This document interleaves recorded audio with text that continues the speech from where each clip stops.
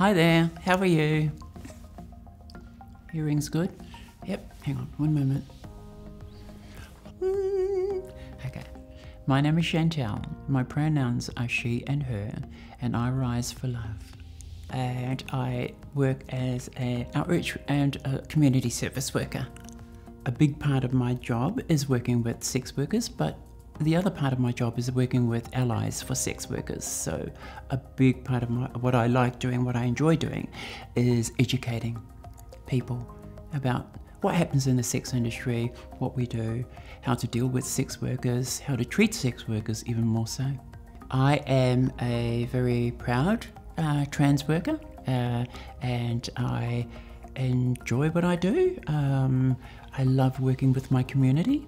I was uh, born in New Zealand. Uh, I came over here to Australia in 1986 and I transitioned here in Australia, so I really consider Australia my home. Transitioning uh, in the 80s um, here in Australia uh, at the time uh, was a very, mm, how can I say, an awkward time, I guess. Uh, it was a, a probably a bad time uh, as well because it was at the start of the um, the AIDS epidemic. It was also the time when I actually started in, in, in the sex industry at that same time. Back in the 80s, people were dying within a year, you know. So, as a sex worker, a street-based trans sex worker, it was even more hard to sort of like navigate that whole thing because we had on top of that the criminalisation of being a sex worker, and then you had um, our gender on top of that, that were, was creating uh, it were creating issues with um, you know the public, the police.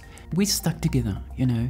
We had a really, really, really strong camaraderie with each other back then um, as a trans woman and being around other trans women. We only had each other, so, you know, right down to actually going to the doctors with each other, going to get health checks together. We did it all together right down to even working together on the street and looking after each other. My experience was fun. Being around my sisters, working together, you know, hey, we were really like family.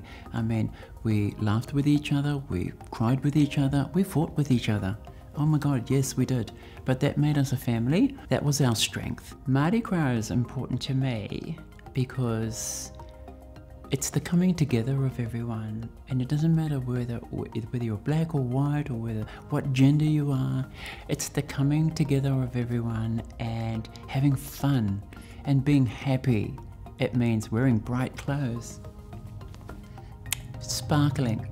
I love the diversity within our community. You can be whoever you want to be, and I mean truly, you can be whoever you want to be. I rise uh, for my community. I rise for my community to be treated with um, respect and the dignity that we deserve.